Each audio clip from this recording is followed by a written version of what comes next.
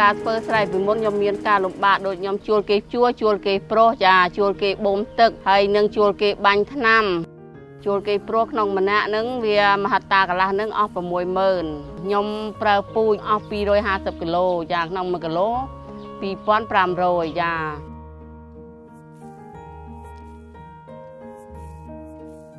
ចាដោយសារឃើញការគាត់លំបាកគាត់នឹងគឺប្រើពូជច្រើននឹងការដែលគាត់ចំណាយពលកម្មវាច្រើនណាបង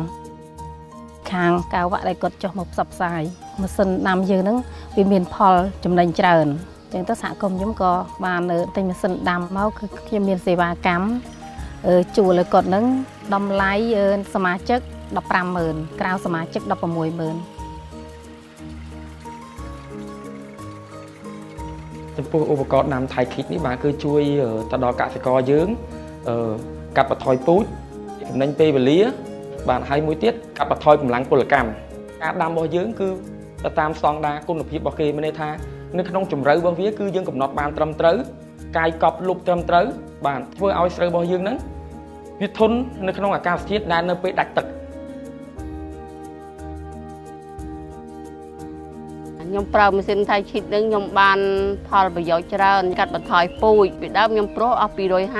ខ្ញុំប្រែជាដាំអស់តែ150ទេក្នុង1ហត្តាកន្លះហើយនឹងធូរទាំងយើងបូមទឹកបាញ់ថ្នាំអីក៏អត់វាមានសត្វល្អិតមកបំផ្លាញយើងដែរចាយើងស្រួលងាយដកស្មៅហើយបាច់ជីនឹងក៏យើងស្រួលដើរចាមានពលឺថ្ងៃចេញចូលហើយដើមវារឹងមាំអ្នកកម្ដៅថ្ងៃឈ្នះខ្យល់មិនដូចយើងព្រោះទេដើមសត្វល្អិតវាអាចថាដួសរៀនបានដូចកទេលចា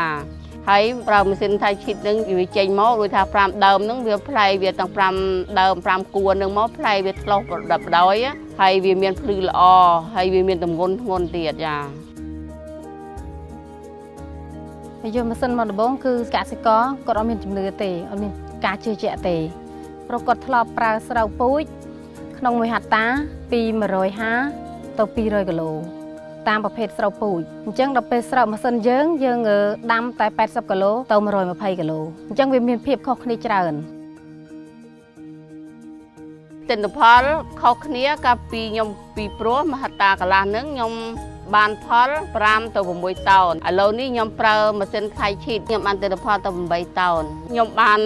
ប្រាក់កាន់ច្រើនឡើងជាងពីប្រុសដៃខុសគ្នា3 4លានដែរចាឥឡូវខ្ញុំសប្បាយចិត្តដែរ ខុសគ្នាច្រើនច្បាយតាំងយើងធ្វើស្រែឥឡូវពីដើមខ្ញុំថាឈប់ដែរ